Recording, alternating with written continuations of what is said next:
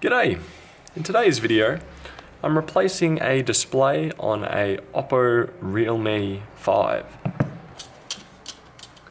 So to begin with, I'm gonna, I've had it on this heat pad, this heat pad, for around about 15 minutes at 75 degrees Celsius. Which with a bit of luck, I should be able to remove the back without too much hindrance.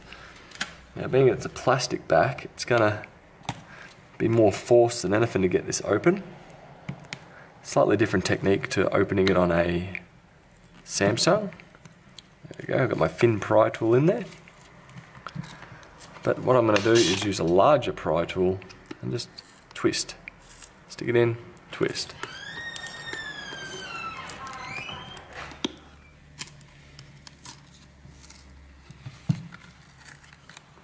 Go, just a bit of pulling it up and it's lifting. Need to be cautious up the top here as there is a fingerprint scanner and I'm not sure how it attaches.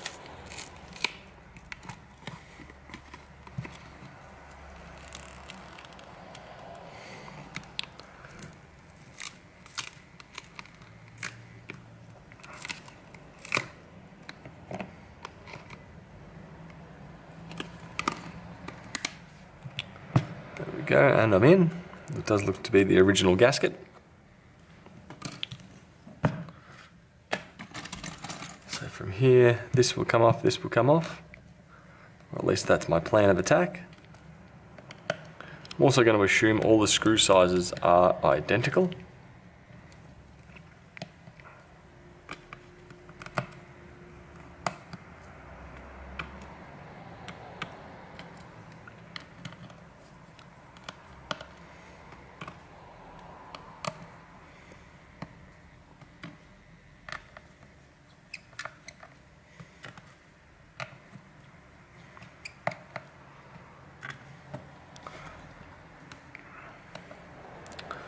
Uh, Realme is one brand I haven't seen too much about lately.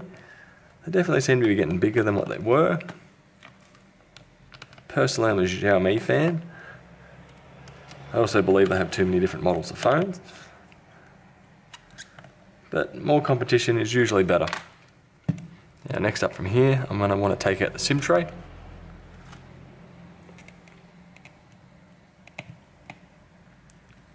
When I have a long enough eject tool.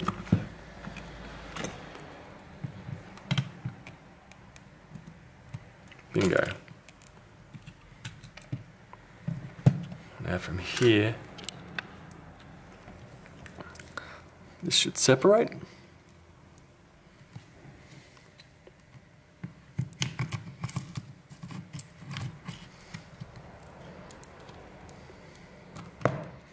No.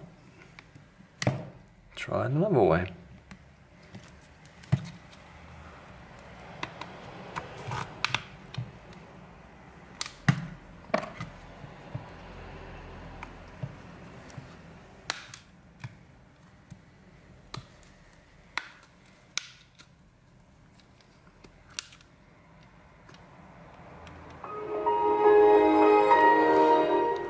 Oh yeah, some Windows XP for the day.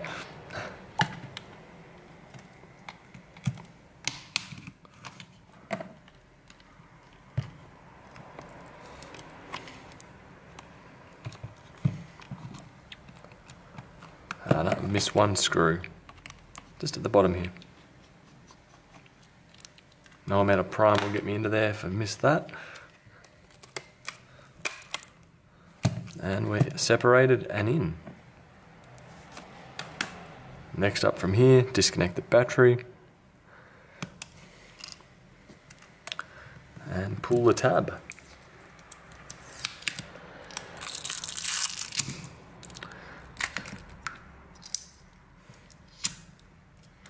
One battery out.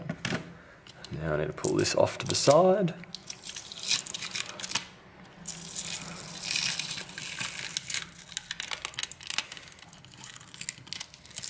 And disconnect. And what I'm probably going to do as well is remove this home oh, fingerprint scanner. Put that off to the side. And now I'm going to use a flathead screwdriver to try and push this original screen out. I know, don't even need to do that. Just my thumb. Now, if you do it pretty well, you should be able to leave the, or pretty much not lose any glass onto the frame. That was okay. A couple of shards up in the corner here. Just grab some bubble wrap. I don't want to put the board down on the heat pad directly. Now it's a matter of cleaning out this glass. Because if you don't do this step well enough, you will end up damaging the new display that, would, that will go in.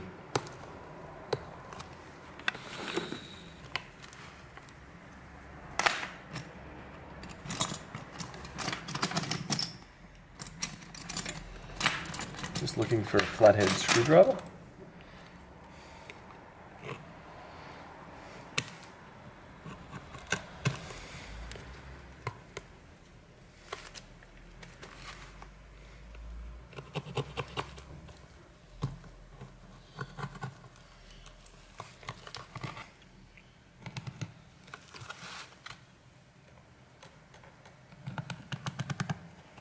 So far this is going pretty well. There we go.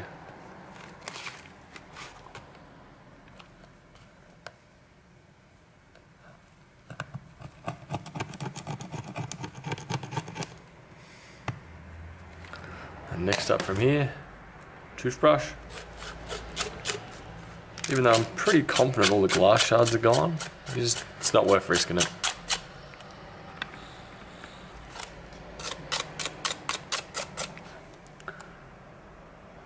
Still have a little bit of factory adhesive stuck in this corner up here.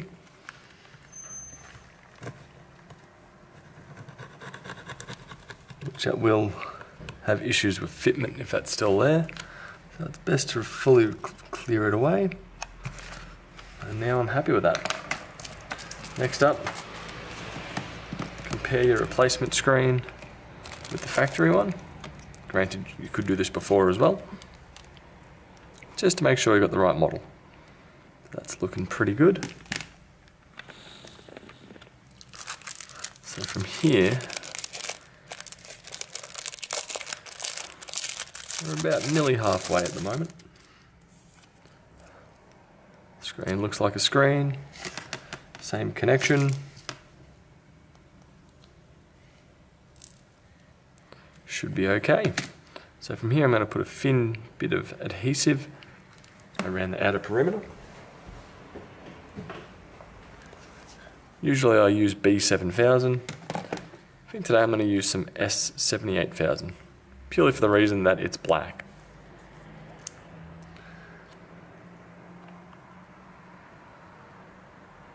Ah, there's still some more here. There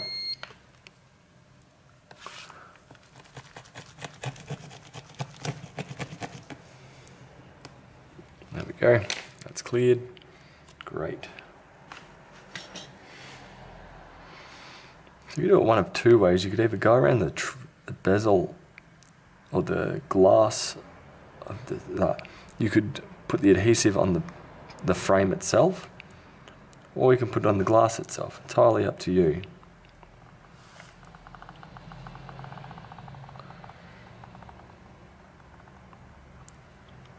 It's crazy how little amount of framing is actually here for the screen to stick on.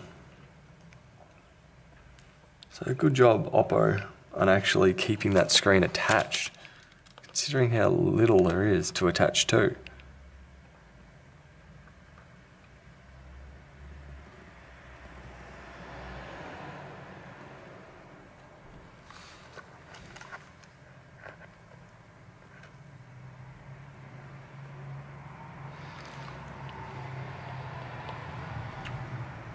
be careful not to get any glue on the actual camera itself. Certainly suck. I also believe the earpiece speaker's up there too. So you don't want to fully seal this area up either. There we go. That's going to do for now.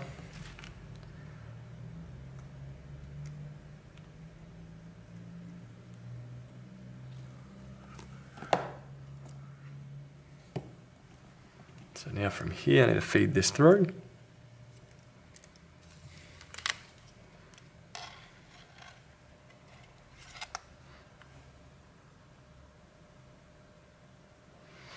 I'm just noticing a small little cutout circle here, but I'm not seeing where it corresponds to on the actual screen.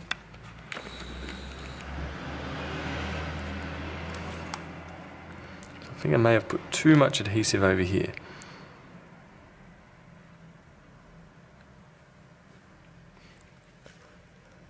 Yes, so there is a small little dot there.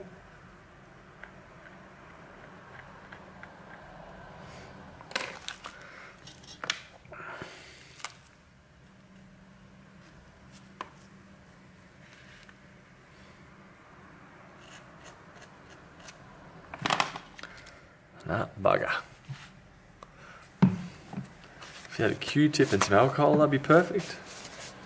I don't, but I do have a tissue with some alcohol.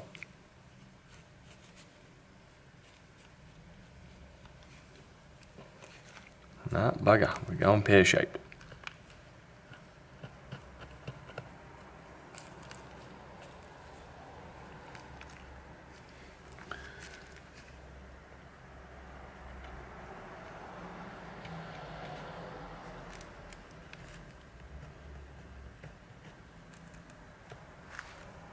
One second.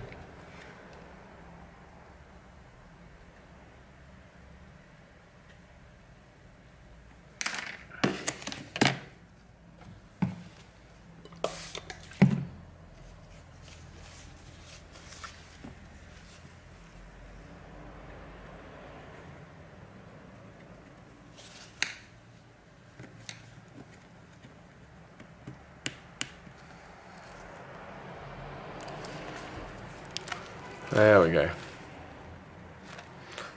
Now I'm a bit happier with that. Put in some more.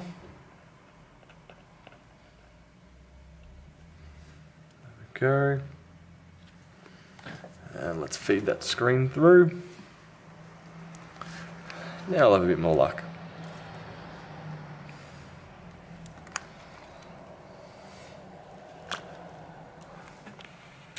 Sorry, I forgot to zoom you guys out there.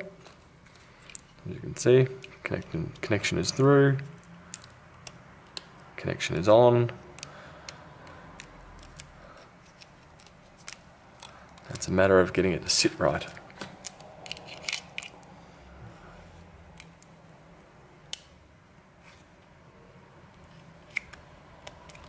There we go, that's sitting pretty darn good. Screen's looking pretty darn good. Sticking a little up on the bottom here, but squeeze that down and we should be good. So from here, it's a matter of reinstalling the battery. Getting it all back together again.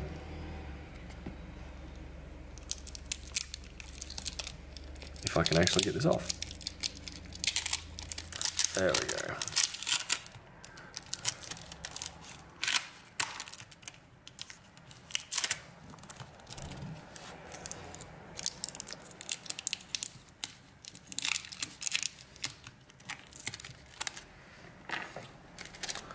One battery. Connected, pushed in, disconnect it for a second, reconnect the fingerprint connector, reconnect the battery. Now from here it's time to put the back framing back on, put all the screws in, and nearly homeward bound.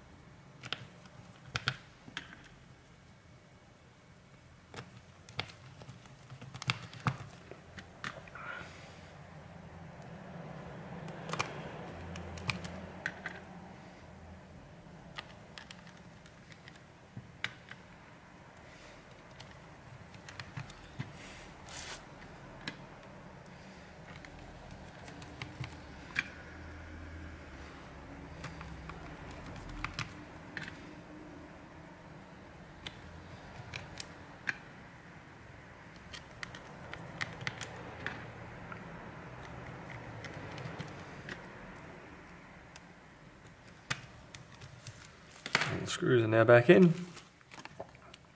Our back cover, I will need to do some of the gasket again. Uh, might be able to get away without not having to retape it.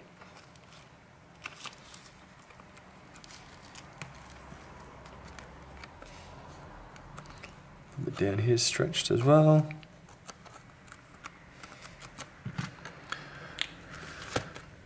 There we go.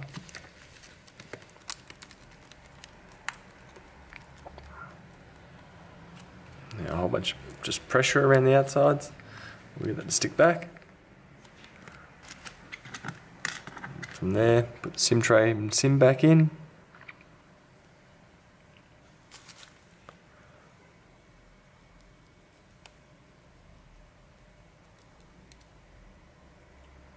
Oop, upside down.